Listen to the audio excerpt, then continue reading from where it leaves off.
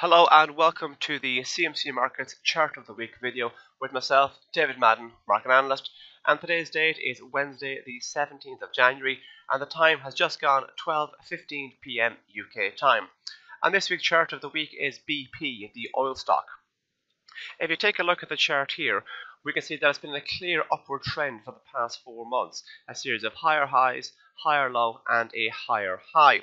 In fact, the high that we saw last last week on BP was yeah, it was the highest level it's been at since 2010. So it gives an indication of just how strong this bullish trend is.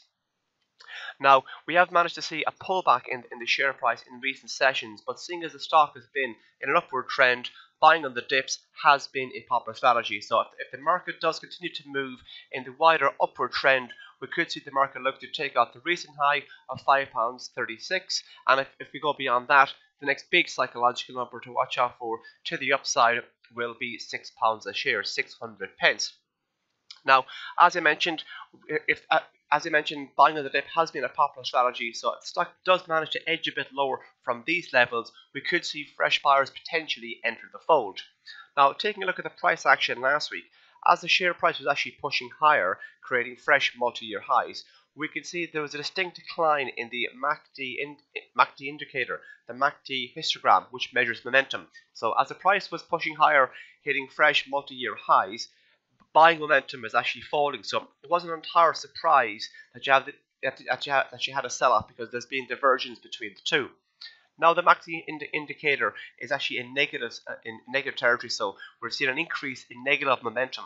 But there's also a possibility that the market could resume the wider upward trend and that could turn around from here.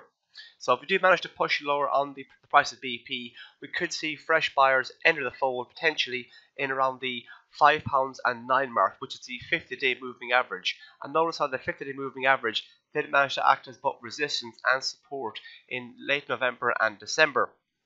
Moving south of the 50 moving average, we may even find some support in around the, the 500 level, which is in around where this trend line comes into place if you draw a low between a line between the low of late August and, and the, the lows of September and also the low of December, you can see that, that the trend line has been respected on a number of occasions.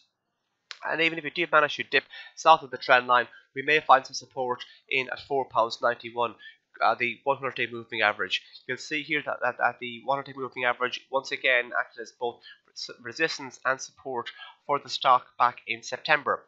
If you do manage to take out the December low of £4.82, that could be an indication, an early warning that this that the upward trend we've seen recently is actually come to an end and the market is turning over on itself. So if you do manage to have a decisive break south of £4.82, we could be look, looking at heading back down towards the 30 moving average of £4.73 or south of that even down towards the £4.50 area. Notice how the £4.50 region here did see a lot of price consolidation back in September.